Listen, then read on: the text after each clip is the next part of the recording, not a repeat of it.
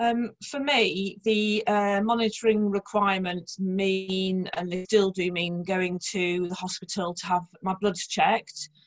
Um, I don't really feel like it is a burden as such because it means keep in touch with the team um, who have become a big part of my life. Um, so it, it, it makes me feel secure to go and have um, this these blood tests.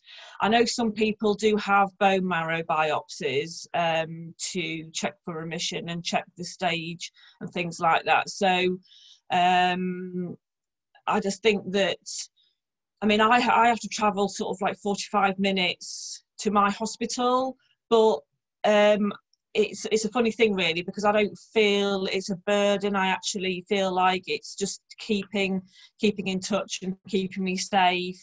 Um, and once I'd been through treatment and I've been in hospital for all that time for so long, so it just becomes part of your life. Um, like um, you know, you have to well i think because you've been in hospital for so long you it, you've you become used to all the procedures so it's not really a problem um, it's reassuring it makes you feel safe.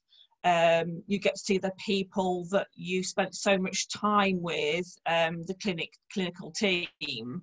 Um, and they like to see how you're getting on. Um, i actually don't look forward to my appointments because obviously there's a worry there because you know uh, in the beginning I went every two weeks, um, but now it's every three months.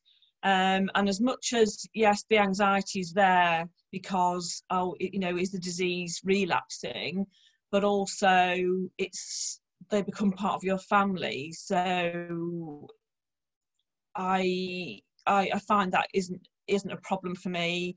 Um, this thing is part of my life so that's kind of how it how it feels to me